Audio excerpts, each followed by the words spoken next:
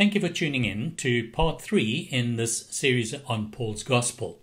The question that we need to keep in the back of our minds as we go through what Paul has to say about the gospel that the Lord delivered to him is this Does Paul's gospel differ from the gospel of the kingdom that Jesus preached? It's a very important question with tremendous implications. So it's important that we consider that as we go through. And I do believe that Paul answers this very, very clearly. Now, what I said in the last video is that we're going through Paul's letter to the Roman believers because it is the most comprehensive presentation of the gospel in the whole Bible. I think that in this day and age, in the church in general, in the Western world particularly, we're only hearing that we need to repent, believe on the Lord Jesus, and then we're set to go to heaven. Our sins are forgiven, and we become a Christian, and we're part of the church. But in Paul's gospel, he presents a far greater picture. It's more expansive, more comprehensive, and it really presents to us the whole purpose of God. And the way in which Paul is doing this in Romans is absolutely genius, obviously inspired by the Spirit of God. But what he's doing is he is taking the Old Testament and he is giving us the interpretation of the Old Testament, making the Old Testament absolutely relevant to us as New Testament believers. So that's the really important point. Now, in chapter 1, which we dealt with in the previous video, Paul speaks about the downfall, the spiraling downfall of the human race from the Garden of Eden to the Tower of Babel, and how that every kind of wickedness entered into them. And he highlights the fact that they did not glorify God as God, neither were thankful. And so he gives us a very graphic description of the human race and really human history right up to this very day. Now, in chapter 2 and 3, which we want to look at in this video, he then speaks about the spiritual implications of our desperate, sinful state. What implications are there? Because there are eternal implications. And while we know that the wages of sin is death, which he speaks about, there's much more to it. And the way in which Paul uh, presents chapter 2 and chapter 3 is quite a remarkable and very skillful way, way of writing. He is a skillful writer, inspired by the Spirit of God. He anticipates questions that we may ask and then he answers them. Now, you may have read chapters 2 and 3 many times, as I have done, and kind of set aside much of what he says about the law and about the Jews and so on, because you might in your heart be saying, I'm not under law, I'm under grace. I'm a New Testament believer. None of that is really relevant to me. But what I'm putting to you today is let's be challenged in our heart to take very careful note of the questions that Paul asks and the answers that he gives, because they're all relevant to understanding the bigger picture of the gospel that was delivered to Paul, and therefore absolutely relevant to us, even as non Jews who've come to believe in the Lord Jesus Christ, the Jewish Messiah. So, just to refresh our memories, in chapter 1, this is what Paul was saying. Furthermore, just as they did not think it worthwhile to retain the knowledge of God, the whole of humanity, so God gave them over to a depraved mind so that they do what ought not to be done. They have become filled with every kind of wickedness, evil, greed, and depravity. They are full of envy, murder, strife, deceit, and malice. They are gossips slanderers, God haters, insolent, arrogant, and boastful. They invent ways of doing evil, they disobey their parents, they have no understanding, no fidelity, no love, no mercy. So, a, a, a graphic description of the depravity of mankind from God's point of view. And notice, disobedient to parents is also included in that list of terrible things. And while one might say, well, is that really that bad? Yes, it is, because that forms the very foundation of families, and families form the foundation of communities, and communities are the foundation of the whole country, and the countries form the foundation of the whole of humanity. So it is one of the building blocks and absolutely essential. So if things break down in the home, they, they tend to then break down right throughout society. Paul was very wise in including that in this list of the sins that are very prevalent in the whole of the human race. So Paul says that although they knew God's righteous decree that those who do such things deserve death, they not only continue to do these very things, but also prove of those who practice them. So people today are calling good evil and evil good. There is a breakdown of what is right and what is wrong. But deep down in the heart of everyone, there is a conscience, and people do know when they're absolutely honest with themselves. They know what is right and wrong. They know that punishment is coming, that there is a judgment, but they just, they just cast that aside. And so that's what he's saying. They do these very things, and they even take pleasure and approve of those that do these things. This is very prevalent in our world today. So, Paul now in chapter 2 starts to ask these searching questions which we need to really carefully consider. He says, So when you, a mere human, pass judgment on them and yet do the same things, do you think you will escape God's judgment? So we can't make differences between sins and say, that's a terrible sin, but I only tell white lies or I have not really sinned to that same degree. He says, all of us are in the same boat. We have no no foundation, no grounds to judge anyone else. So that's the point that he's making. He says, another question, or do you show contempt for the riches of his kindness, forbearance, and patience, not realizing that God's kindness is intended to lead you to repentance? Now, I know this verse is quite often used to um, speak about evangelism when we're talking to an unsaved person we should not call them sinners, etc., and rub their, their noses in it, but rather tell them about the goodness and the kindness of the Lord. Now, while that may be have merit and, and have some truth to it, that's not really what this verse is about. Having given us the rundown of the depravity of mankind, the question will rise in our hearts well, why then has God not destroyed everybody, uh, wiped us all out, and started again? And so this is what Paul is explaining. He says, God's forbearance, God's long suffering, God's patience with sin is because of his kindness. And know this that he's actually being patient for us, waiting for all of us to come to repentance. In another place, the scripture says, God is not willing that any should perish, but that all should come to repentance. And that's really what he's dealing with in this verse.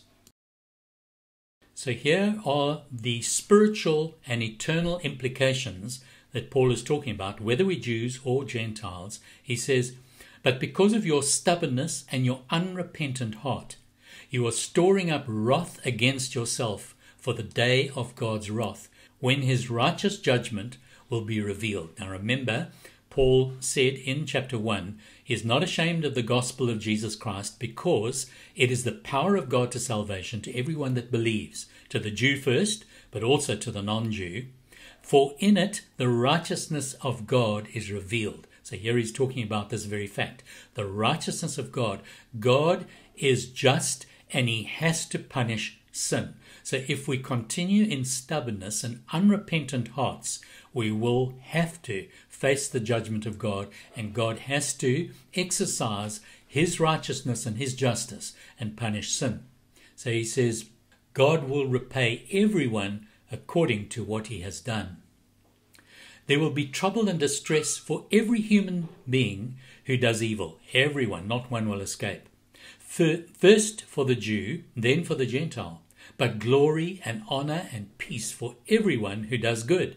First for the Jew, then for the Gentile. So he's, he's showing us very clearly that the gospel to the Jew and the gospel to the Gentile is absolutely identical. It's the same gospel.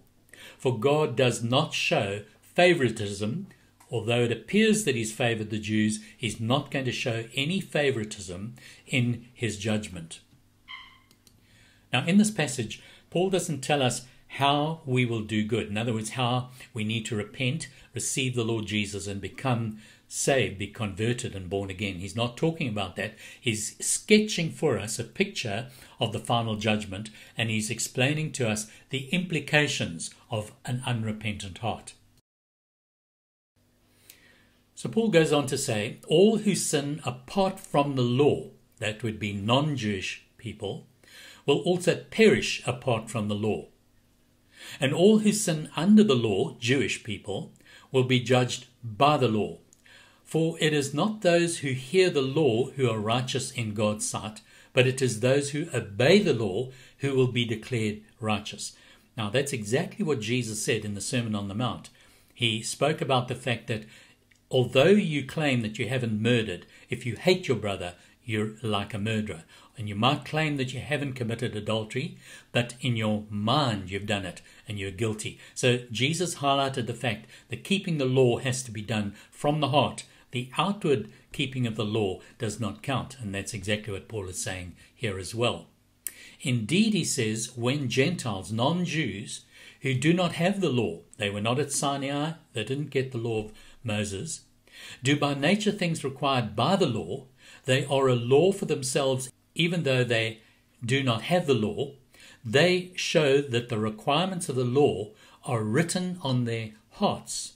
Their consciences also bearing witness, and their thoughts now accusing, now even defending them. So he's he's beginning to introduce the fact that there could well be non Jews who keep the law from their hearts. He doesn't tell us how that happens, that he'll tell us later, but he's just highlighting the fact that the, the judgment of God will be on this basis. Those that were under the law will be judged by the law. Those who did not have the law will nevertheless be judged because they know in their hearts, their conscience will have told them that the things that they were doing are wrong and they will be judged accordingly. But if they, by virtue of a changed heart, keep the law, then even though they're non Jews, they will be accepted. When will this all take place? And what is Paul talking about? This is what he says. This will take place on the day when God judges everyone's secrets through Jesus Christ, as my gospel declares. So that's where we get the title Paul's Gospel. So his gospel is presenting us with this fact that everyone's secrets will be exposed as they as we stand before the Lord Jesus Christ and according to his gospel. Now, this is why the gospel that Paul is presenting to us is absolutely essential because whether we are Jews or Gentiles, whether we're under the law or whether we did not have the law, nevertheless, what Paul is presenting to us in the gospel is the template and the basis upon which we will be judged. So it's essential that we apply ourselves to what Paul is teaching and take very careful note. Now, this is similar to what Jesus said in his Sermon on the Mount, for he says, I tell you that unless your righteousness surpasses that of the Pharisees and the teachers of the law, you will certainly not enter the kingdom of heaven. That comes from the mouth of the judge himself. Now, the, the Pharisees kept the law to the letter. They were absolutely fanatical about the keeping of the law, but Jesus said in their hearts they were not keeping the law. And so he says, unless we can rise above their righteous standard and have our hearts changed, we will not enter the kingdom of heaven. So these are very serious things that we need to uh, consider prayerfully and carefully before the Lord because remember, Paul said, the gospel is the power of God to save us. So we've got to rely now upon the power of God to deliver us from this depravity of humanity that we're part of and be made uh, saints in the presence of the Lord, forgiven and cleansed. And that's really where he's going with all of this. Let me repeat that part of the gospel, Paul tells us, is that the righteousness of God in the gospel is revealed. So, this is a very important part of the gospel that God will judge sin.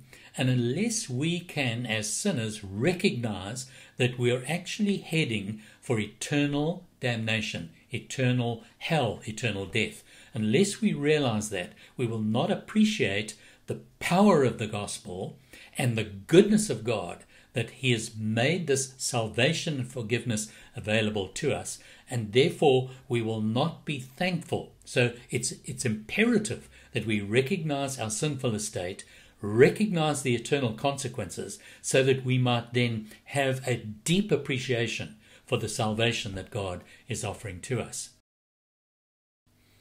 So Paul, being a Jew himself, he fully recognizes and anticipates the fact that Jews are going to come up with an argument, and so he asks this question What advantage then is there in being a Jew, or what value is there in circumcision? So he's anticipating the fact that having said that even though the Jews have the law, have circumcision and kosher food and all the laws that distinguish them from the other nations, nevertheless they will be judged by the law and could find themselves being sent to hell.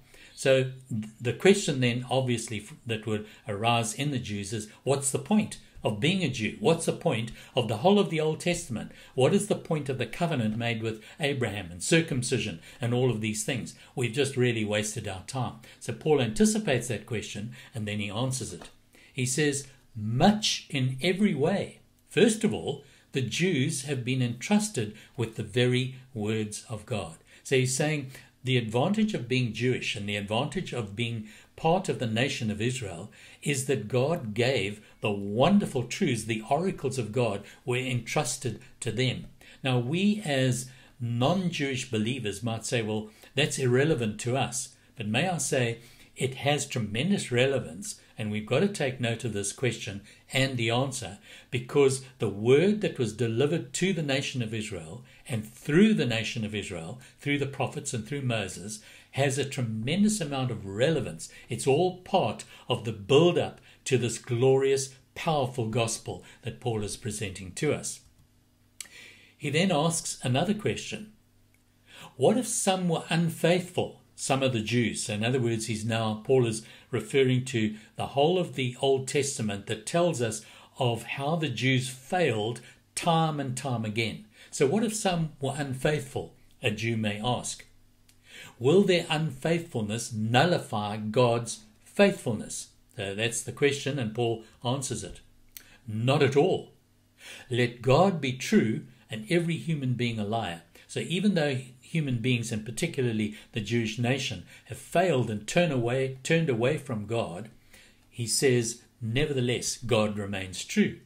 As it is written, so that you may be proved right, the Lord, when you speak and prevail when you judge. So God has honored his side of the covenant and remained true to his promises. Remember, part of his promises were that if they disobeyed, then a curse would be upon them. If they obeyed, blessing would be upon them. And God has honored what he promised. Another question But if our unrighteousness as Jews brings out God's righteousness more clearly, what shall we say? That God is unjust in bringing his wrath on us?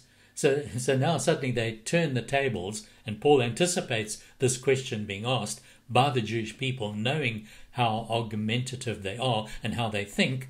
He says maybe the Jews will then say, Oh, well, we've actually enhanced the righteousness of God by our disobedience. We've shown up how good and how faithful God is. Paul then answers that question.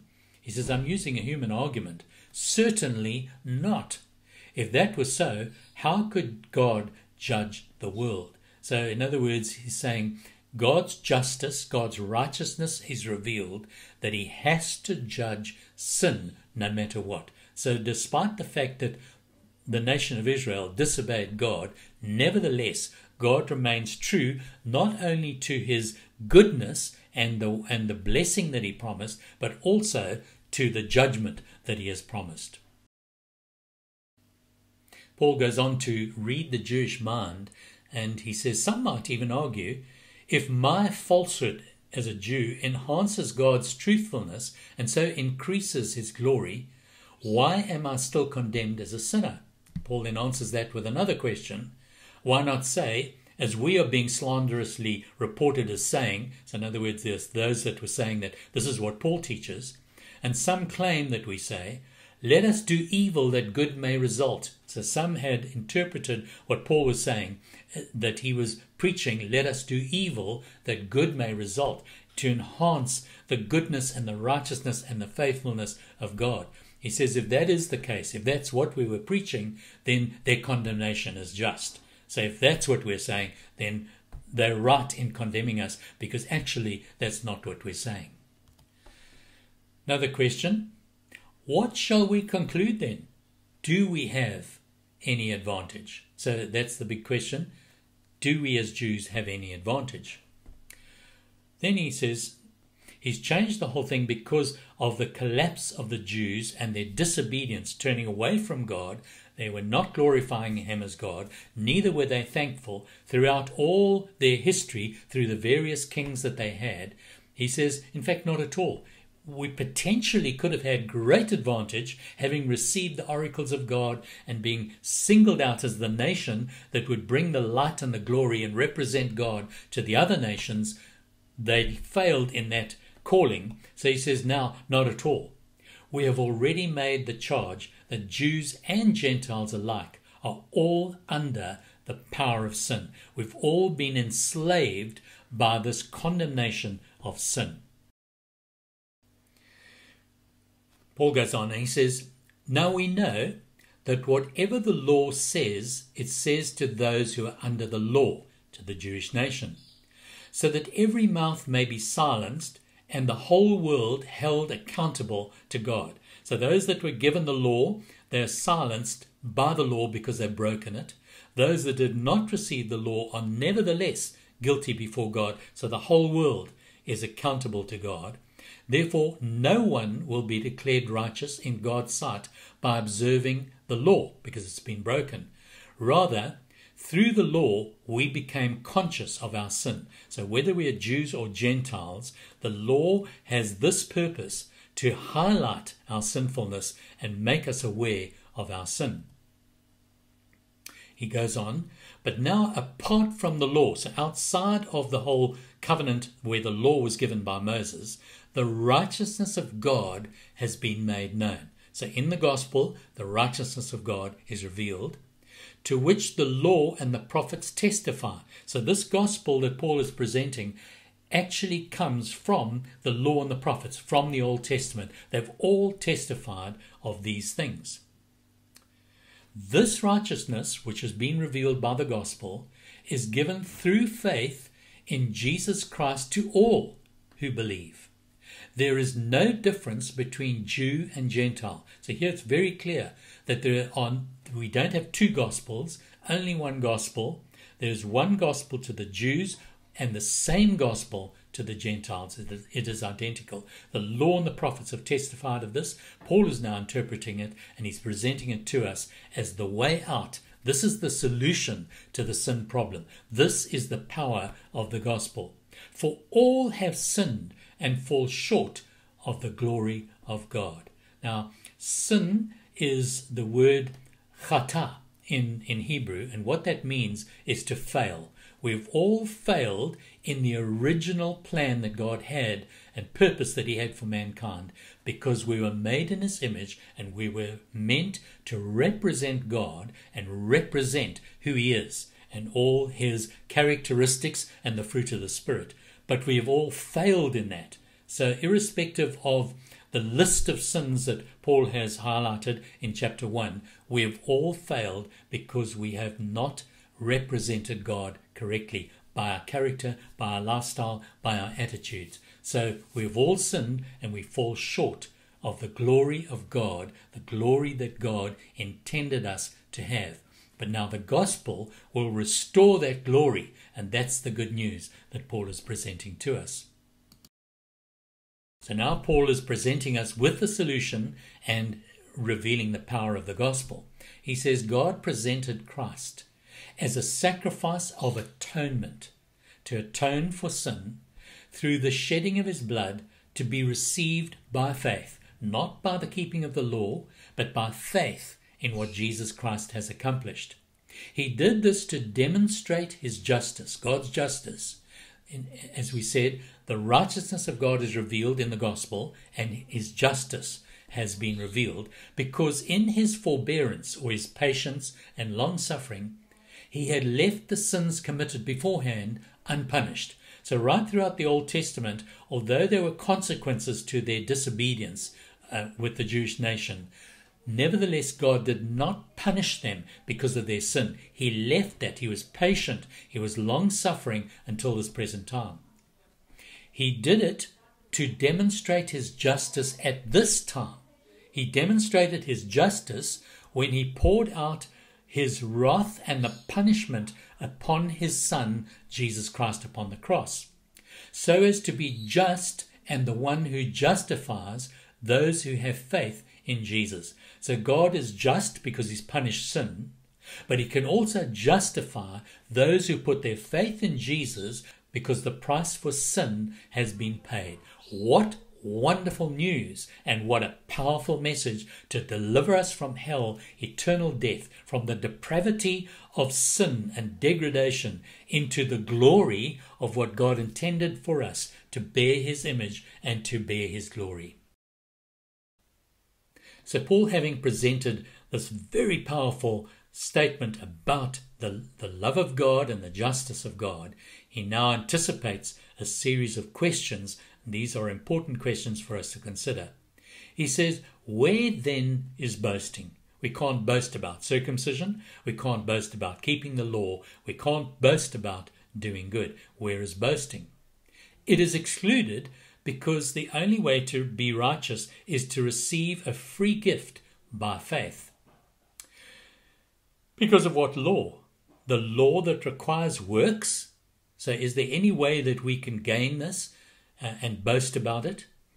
No, because of the law that requires faith. So he says there is this new way of attaining to the righteousness that God requires, and that is by putting our absolute confidence in the work that Jesus accomplished upon the cross. For we maintain that a person is justified by faith apart from observing the law. Now, does that mean that we discard the law altogether? No, it simply means that we cannot be saved by the law, but having found righteousness and justification, forgiveness, through faith in the Lord Jesus, our hearts are changed, and this is what he then goes on to say. Is God the God of Jews only? Important question. Is he not the God of the Gentiles too? And this is a question that is debated to this very day there are so many even evangelical and, and Pentecostal and charismatic believers in the church today who make a difference between Jews and Gentiles, even in Christ. So they don't know how to deal with the Jewish nation in the New Testament. But Paul is saying, is God the God of the Jews only? Is he not the God of the Gentiles also? This is what he answers. Yes, of the Gentiles too. Since there is only one God, who will justify the circumcised, the Jews, by faith, and the uncircumcised, the non Jews, through that same faith. There is only one gospel, one way to the Father, and that is through the Lord Jesus Christ. Now, we need to get that in our thinking because that will affect the interpretation that we apply to the whole of the New Testament and particularly to this book of Romans. So it's vital that we get this clear. So, as I was saying in the beginning, these questions, some of them may seem irrelevant until you think about them carefully, and actually the answers are absolutely vital for our understanding of what Paul is really saying and our grasp of the gospel that was committed to Paul. So let me conclude with another vital question that Paul asks, and this is something we need to consider carefully. Do we then nullify the law by this faith? So, having come to faith in the Lord Jesus and found forgiveness, and we have received a gift of righteousness from the Lord, does that mean I'm not under law, I'm under grace? I nullify the law by my faith. That's the question that he's asking. And that is a vital question because there's so much error that has entered into the thinking of many in the church today um, concerning this question. Here is the answer. Not at all, he says. Rather, we uphold the law.